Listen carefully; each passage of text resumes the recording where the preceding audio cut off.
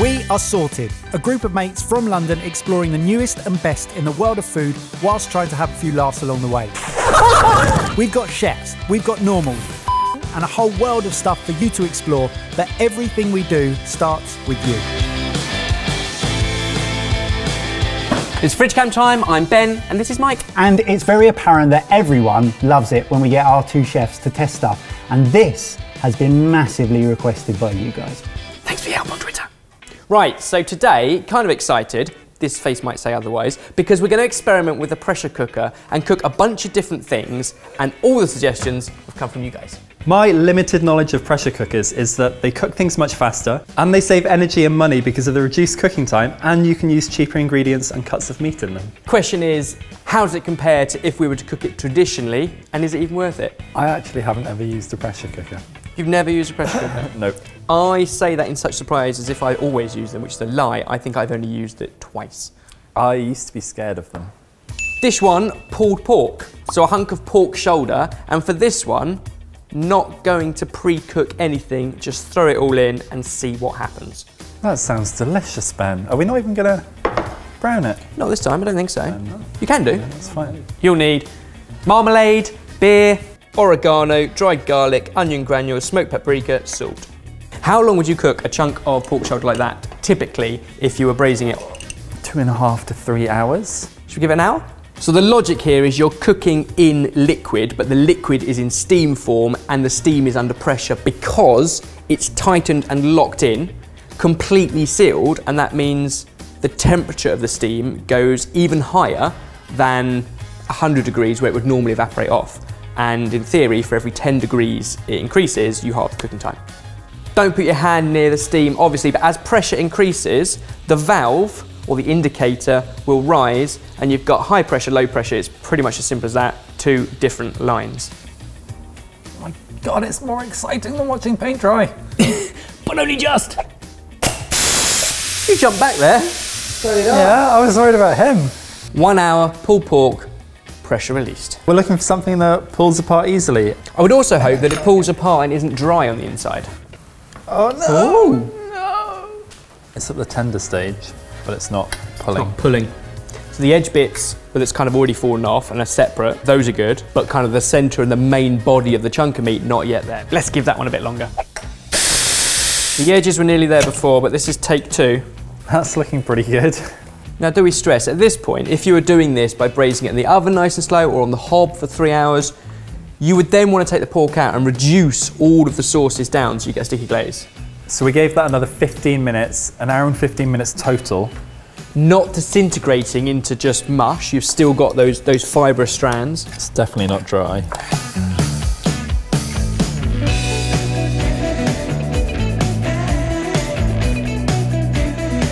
So no pre-searing. We gave it an hour and 15. I reckon an hour and 10 if we hadn't opened it after the hour. Yeah, yeah perhaps. Let's have a look. Great. Loads of flavour. I wouldn't say it's any different to pulled pork that you cook for three hours and it's less than half the time. Also, if you're thinking kind of midweek, I feel like you could cook that big chunk of pork and use some of it today and use some of it tomorrow or the day after in a completely different dish with tacos, with beans, whatever. You're right, Mike. Pulled pork becomes midweek. Dish two, oxtail. Ben put out a tweet and oxtail was the most requested dish to do in a pressure cooker. That, that's the tail of an ox and then they just go pow, pow, pow and you end up with yummy. We're gonna do it with some Korean flavors at high pressure and we're aiming for 45 minutes. For the oxtail, we're gonna sear it really quickly in hot oil before adding our liquid, which is honey, soy sauce, rice wine, chili paste, garlic and ginger. And a pear. And a pear. And a pear. Once the chunks of oxtail have been seared, drain off any excess fat and in with all of those wonderful flavours. Clamp it, pressurise it, 45 minutes. Don't look into the steam, look into the steam, look into the steam, burn your eye. That lets the steam out. If the heat is too high, there will be a constant loud hissing sound. Oh, oh, did you get it? Did you get that? Did you get it? we have three different pressure cookers. And this so far, this one. You like the pop. Way more fun. This one's way, way more fun. This is a real experiment because I've never cooked oxtail at home. I've only ever cooked it in restaurants and hotels. Would I bother at home? I'm really excited. And if it does goes the same way as the pulled pork, I'm leaving. I don't care about the second half of this video. They look a bit shriveled.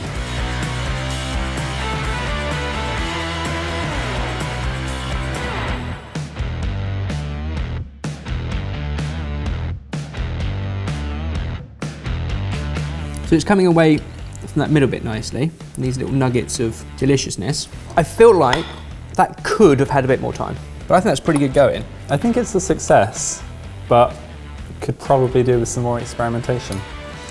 I don't know enough about oxtail to know if this is 70% or 90% of the way there, but it tastes great and it's a very cheap cut of meat. And I think a talking point if you're going to serve that to someone who also hasn't tried it. Dish three, potatoes. Now, I was once talking to the Potato Council and they were concerned because our generation don't eat enough potatoes anymore because they take too long to cook 15, 20 minutes of boiling. More if you roast them. What do you mean it take too long to cook? Our generation, 15 they, minutes? They want they want rice in 10 minutes. They want pasta in nine minutes. Potatoes take too long. We're going to cook them in a pressure cooker, six minutes. That's ridiculous. So I guess we're going to compare these to boiled potatoes. Although technically, we're going to steam these under pressure. Water in the bottom of the pressure cooker. New potatoes. I've just cut them in half in a steamer above it.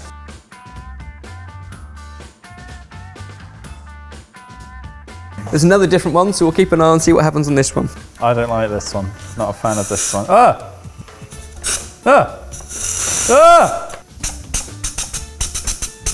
The thing is with six minutes, like a minute over is a really high percentage of overcooking, isn't it? Yep. Once the spuds are cooked, we're going to toss them in chives, mint and parsley chopped up with a squeeze of lemon, glug of olive oil, salt and pepper. So release pressure quickly using the steam valve. Just. Just good or just under? I think just just good. Well, like perfect, you mean? I think they might have worked, which is annoying. It bothers you, doesn't it?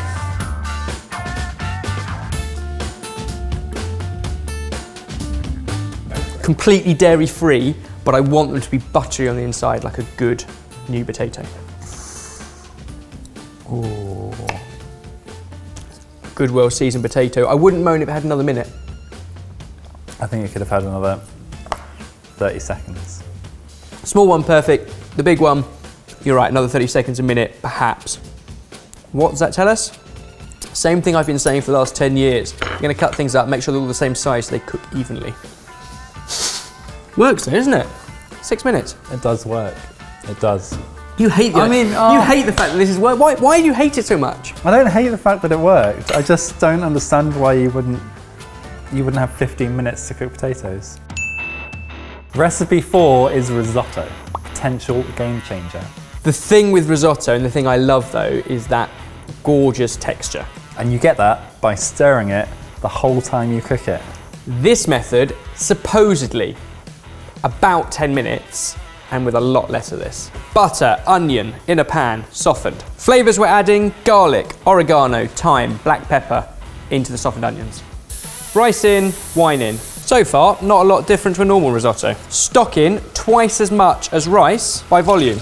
Stir and cook at pressure for seven minutes. Regular risotto, 30 to 40 minutes usually. After seven minutes, release the pressure, take off the lid and give it a good stir, and then we'll add in our peas, parmesan and cream cheese. Season to taste, fingers crossed, risotto. That is a big old, that is a Ben-sized portion of risotto.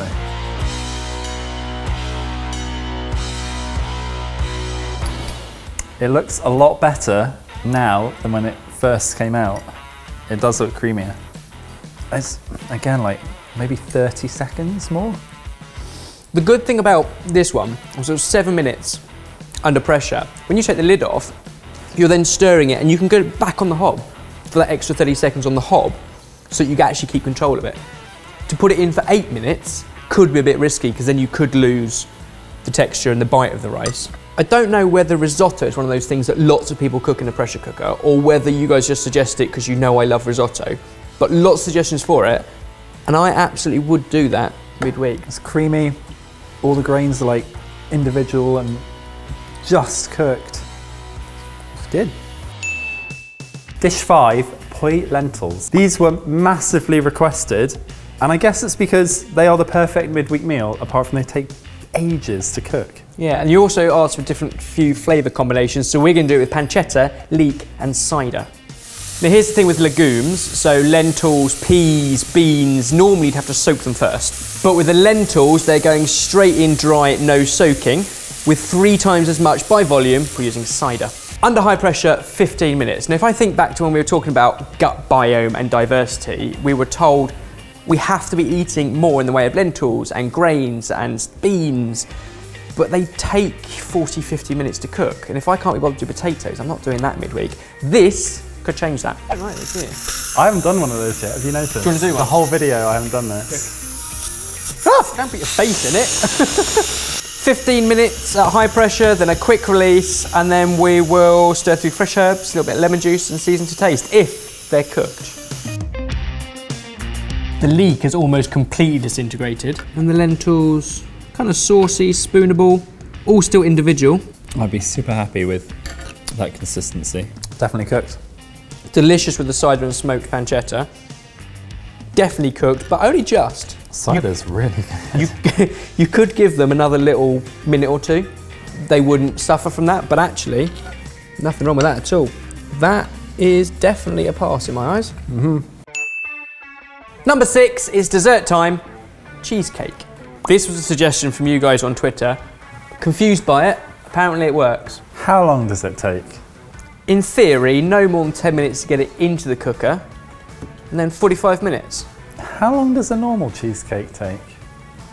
About 10 minutes to get it into the oven and then 45 minutes? Hmm. The logic here is. No, I'd say I'm confused by this one as well.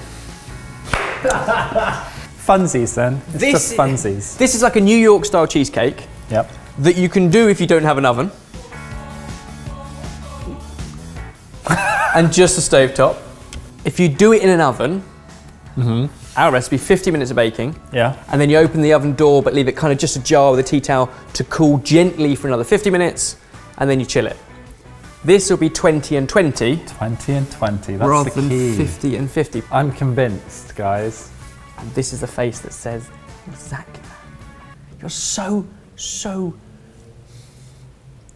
hard to please.